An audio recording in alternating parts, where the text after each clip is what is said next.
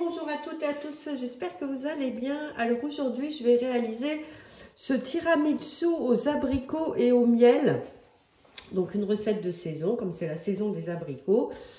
Euh, donc là, on va commencer à cuisiner. Donc 400 g d'abricots frais, donc coupés, dénoyautés et coupés en quatre. Il y a un peu plus, euh, 15 g de miel parce que les abricots, il faudra en garder un petit peu pour, euh, euh, la déco. Donc le miel, une branche de thym frais et feuillé. Donc voilà, une branche et j'ai retiré donc les petites graines.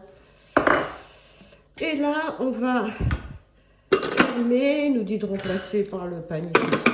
Voilà. Et 20 minutes 100 degrés, tourner le sélecteur jusqu'à 1. Voilà le résultat de ma compotée d'abricots que je vais réserver à température ambiante et après que je vais mettre au frigo parce qu'il faut qu'elle soit froide pour mettre sur le tiramisu. On va continuer la recette avec le sirop d'abibage pour les biscuits. Donc là, ils nous disent de mettre 50 g de sucre en poudre, 10 g de miel, 140 g d'eau et une branche de thym frais et 5 g de liqueur d'amande type amaretto. Donc là, j'ai tout mis, donc mon sucre, mon miel, mon amaretto. J'ai préparé l'eau aussi et la branche de thym frais qui va venir parfumer tout ça. La branche de thym frais, l'eau 140 grammes. Et là, on va venir laisser infuser ça. Donc sans le gobelet, on oublie de mettre le panier. 10 minutes 105 degrés, vitesse 1. Ah, je réservé mon sirop d'imbibage, donc je laisse refroidir. Alors là, on va préparer la crème au mascarpone. Donc j'ai séparé les blancs de, et les jaunes de 4 œufs. Donc j'ai mis mon fouet euh, donc, dans mon bol. Et là, on va mettre donc les 4 jaunes d'œufs. Suivant, 70 g de sucre en poudre. Les graines d'une gousse de vanille. Donc là, je l'ai grainé. Je vais le mettre dedans.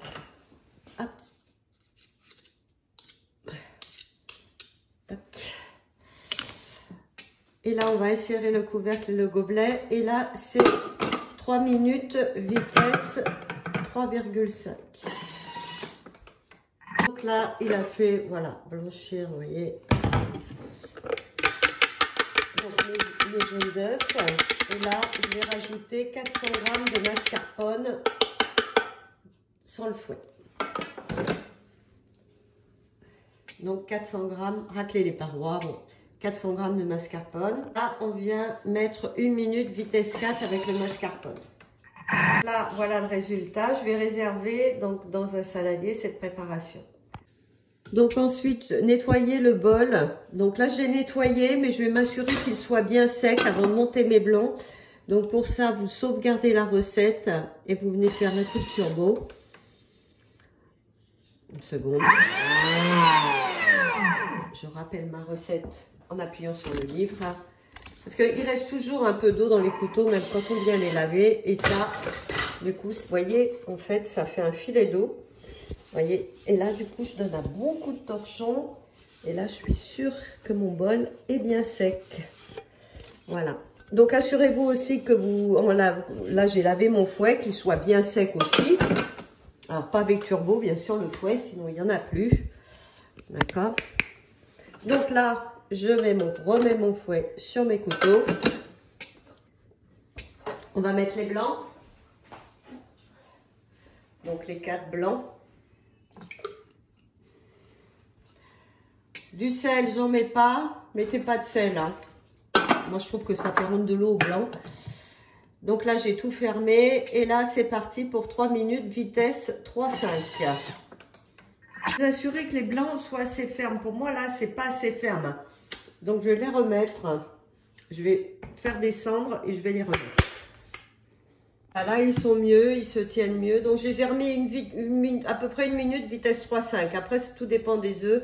Mais là, je trouve que c'est bien mieux. Donc là, je vais répartir délicatement les blancs à la préparation au mascarpone.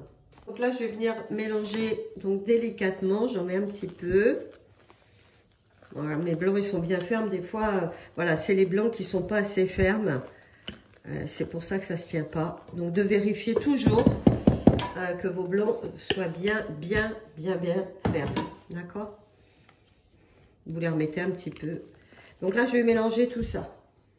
Je fais le montage. Hein, J'imbibe donc mon, mes biscuits de sirop et je viens les décloser. Alors après, tout dépend de la grandeur de votre plat. Moi, là, moi, j'arrive à mettre 12 euh, euh, biscuits dans mon plat et il y aura encore une couche de 12 biscuits. Donc là, une fois que j'ai fait ça, je vais répartir ma crème, une couche de crème au mascarpone dessus.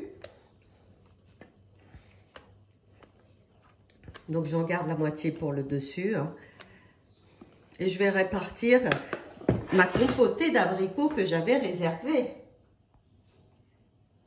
Là, je vais mettre ma compotée d'abricots au milieu en l'étalant un petit peu partout. Elle est belle ma compotée. Donc il faut que la compotée soit refroidie bien sûr.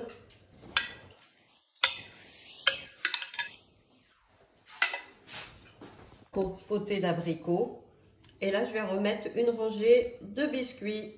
J'ai mis donc mes biscuits sur ma compotée et je vais finir avec ma dernière couche de mascarpone. Donc là je viens étaler ma dernière couche de mascarpone. Et après, je vais décorer avec des petits abricots et du thym aussi, puisque c'est au thym, hein. ça sent bien, c'est bien parfumé d'ailleurs. je mets un peu de thym, vous voyez, dessus, comme ça. Juste les feuilles, hein, bien sûr. Voilà. Voilà, je décore de petits quartiers d'abricots, vous voyez, que je coupe donc frais. Voilà, pour décorer euh, donc le tiramisu. Bah écoutez, j'espère que cette petite vidéo vous a plu et vous a donné aussi envie de la réaliser. Et je vous dis à bientôt pour d'autres recettes.